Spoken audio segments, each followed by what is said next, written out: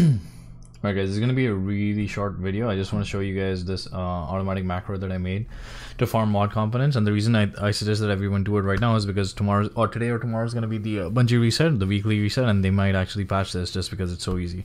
So anyways, I'm going to I'm to play this. I've already made the entire um, macro by myself. I'm just gonna let it play in the background just so you guys can see what's going on. I'm not using the mouse and keyboard myself. I literally just press the play, button and that's it.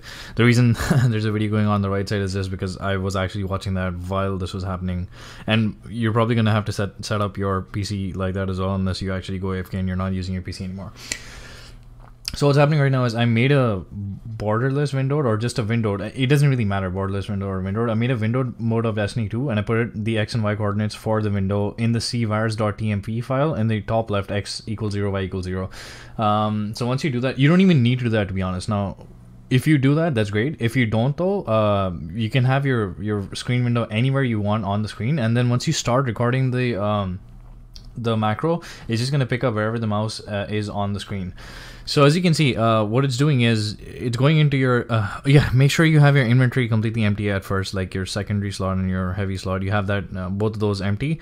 Uh, you're just going to keep buying any year one uh, blue weapons, any year one blue weapons. You can actually have all three if you want. I don't have a primary um, blue weapon in my initial slot, so I just never used it. But you can have any three things and uh, it's gonna buy it automatically and it's gonna go back and, and start deleting it. If you want i'll, I'll uh, save this macro and upload this macro as well if you want to like uh, go in and edit that file. Besides that remember one thing uh, for example my delete button is f right? If so when i was actually recording the macro if I hold on F, it doesn't register on the macro recorder as a holding down of F. But it actually um, it actually uh, registers as a tap, like a tap, tap, tap, tap, tap, tap, like as if you're tapping F for like uh, some seconds. So the only thing you have to change in your macro uh, afterwards is like you put in key down F, wait for 1100 milliseconds, then key up, then wait once again for 1000 milliseconds, and that's your entire uh, macro, which you repeat like nine times because you're you're gonna buy the weapon nine times, so you can delete it nine times. So you repeat that thing. So key down uh, F or whatever your delete button is, wait for 1100 uh, milliseconds, and then key up, and then wait for 1000 milliseconds, and repeat that like nine times.